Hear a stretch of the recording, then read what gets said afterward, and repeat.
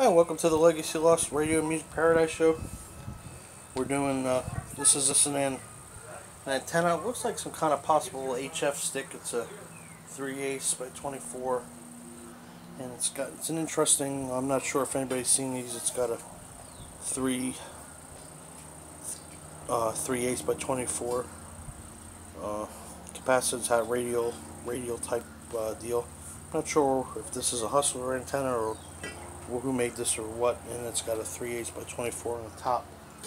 But um, I think it was used previously for a business band VHF low antenna. and what this is here is simply on the top. This is a uh, 102 inch whip, and it's been trimmed for probably like 30 megahertz or something like that. It's uh, not quite 102. So what I'm going to probably do with this since I don't really know what this was for. I don't know what model it is, so I don't have specs.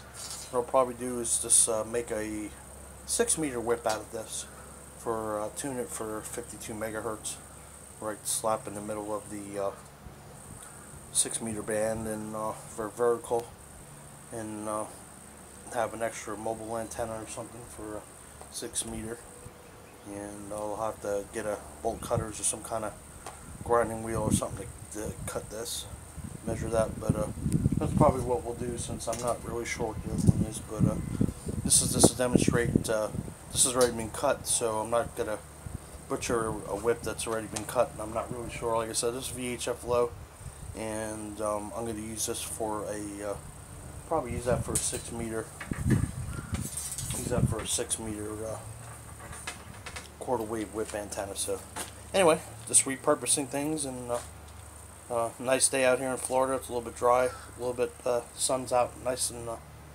nice and a little bit breezy, no rain, and uh, everything's good. So give us a thumbs up. Peace out. 73.